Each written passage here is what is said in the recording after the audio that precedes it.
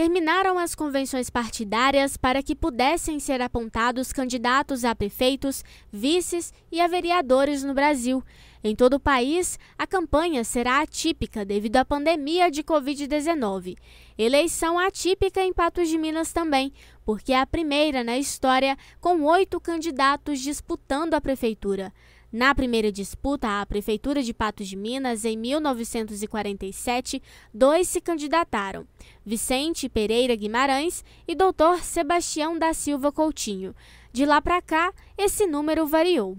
Nós tivemos alguns, algumas eleições que esse número é, ele ampliou um pouco mais, né, de dois ou três. Tivemos eleições até com seis candidaturas majoritárias. Antes de 2020, o recorde era da disputa no ano de 1982, que teve seis candidatos. Mas, mesmo naquela época, o perfil do eleitor não se alterou. A partir do momento da redemocratização, criou-se pluripartidarismo. E aí, né, nós tínhamos 16 partidos no Brasil, mas no interior do Brasil, praticamente dois partidos eram majoritários. A UDN, a União Democrática Nacional, e o PSD, o Partido Social Democrático. E esses partidos se constituíam muito em torno de grandes famílias, aquelas famílias que eram mais poderosas, né? mais abastadas, e ligadas, sobretudo, à questão da economia agrária. Né? Eram grandes fazendeiros, comerciantes, e aqui em Patos não foi diferente. Aqui, né, as agremiações políticas, tanto a UDN quanto o PSD, se organizou também em cima né, desse perfil. Por isso que eram quase sempre duas. Agora, oito candidatos disputam o cargo de prefeito. E com isso, dúvidas para a escolha de um representante. Facilita ou dificulta na decisão? Não vejo como um ponto negativo.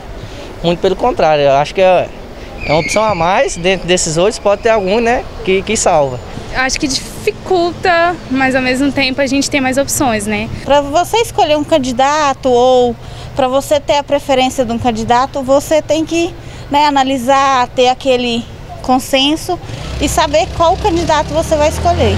Muitos são complicados. Nós temos hoje candidatura em Patos, por exemplo, da extrema direita e até de uma esquerda radical, né? Nós temos de centro-esquerda, de centro, de direita, de esquerda.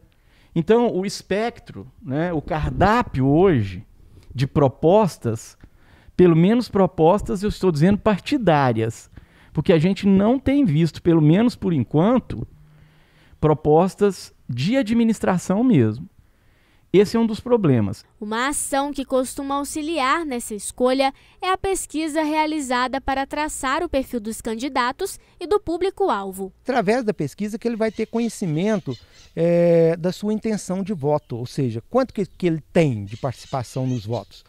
E essa participação do voto ela muda de acordo com a questão geográfica dos bairros da cidade, muda de acordo com o gênero, com as faixas de idade. Então ele consegue segmentar seu voto. Em relação à quantidade de candidatos, a alteração no resultado da pesquisa é pouca.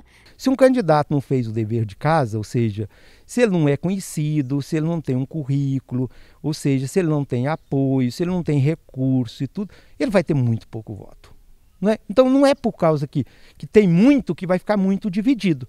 Vai depender do que os candidatos têm para oferecer.